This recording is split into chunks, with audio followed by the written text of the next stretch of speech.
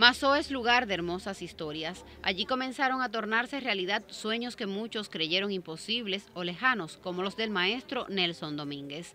Hasta los 11 viví en Aguacate, un lugar eh, de campo muy lindo, en una finca que tenía mi padre atravesada por un río, ahí trabajamos la agricultura, eh, teníamos un maestro particular, porque mi padre siempre eh, le gustó que estudiáramos, hasta que triunfa la revolución, eh, que se abre la ciudad escolar Camilo Fuego en Canedas Mercedes, ahí hice la enseñanza eh, primaria y secundaria y posteriormente eh, pasé a estudiar a la Escuela Nacional de Arte en La Habana.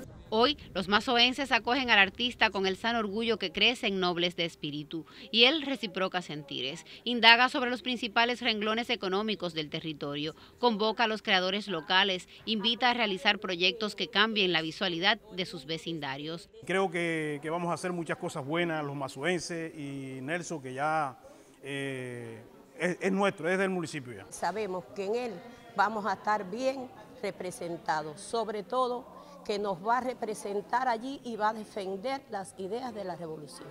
Después de varios días de intercambio con los habitantes de este poblado, el Premio Nacional de Artes Plásticas 2009 visitó el estudio taller de Raibel Freeman.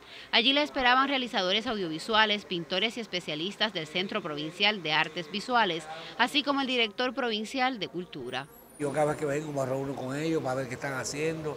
se ha convertido en una práctica eh, amistosa de, escudriñar un poco a ver por dónde andan. Un artista que nosotros respetamos muchísimo porque tiene una obra increíble, muy laborioso, con, resultados, no sé, impresionantes para mi punto de vista.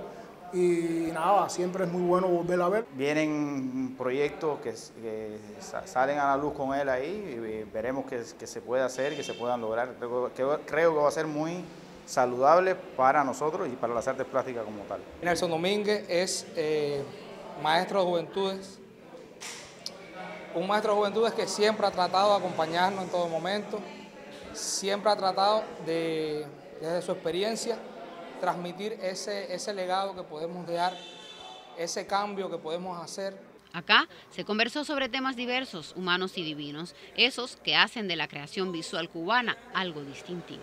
Hay una generación de artistas jóvenes muy valiosos que también hay que requieren de mucho cuidado, de mucha atención, de estimularlos, de crearle espacios, eh, si no eh, personales, sino algunos talleres colectivos a los más sobresalientes.